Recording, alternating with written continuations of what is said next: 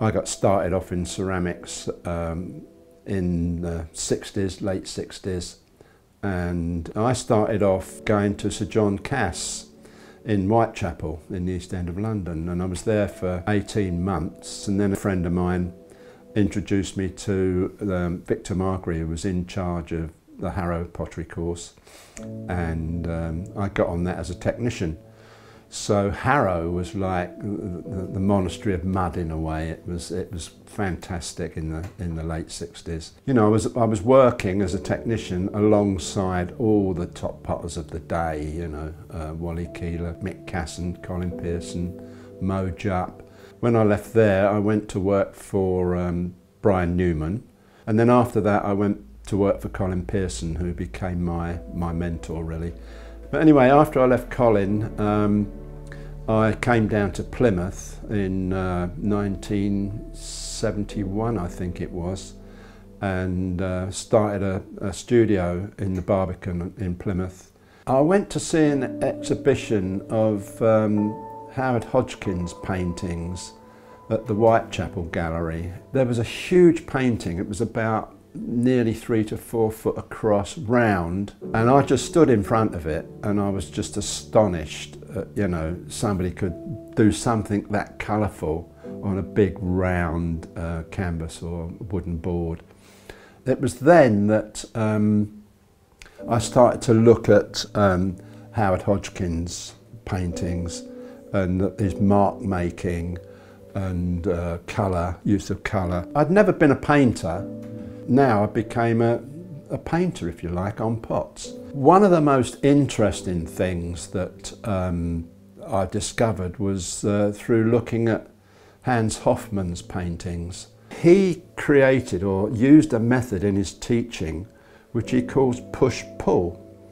And in a sense, what that means is you put one colour next to another and one will move forward and one will move back. So now I love to kind of bring in this push-pull use of colour. I use um, a yoghurt pot. In the bottom of it, I put about a, a quarter of an inch of water.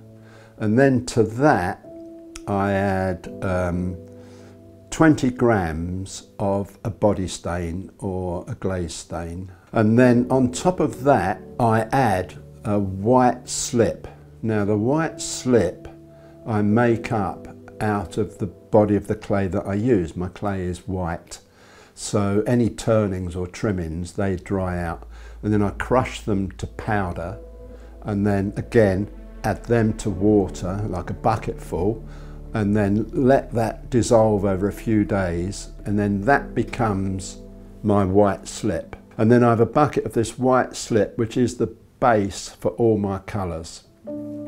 So then going back to the yogurt pots, I've got, you know, 20 grams of dissolved colour and to that I add the white slip and then that becomes the base slip of that colour and I do that with all the other colours. So when I lay the colours out, I've got two, um, two palettes, two glass palettes that I put on a bat and um, I just lay the colours out in a, in a kind of an order that I know that, that I'll be able to get to. And um, once that's done and I plot out my first image, once I've got that plotted out, what I want to do then is I want to intensify the, the colours and intensify the image.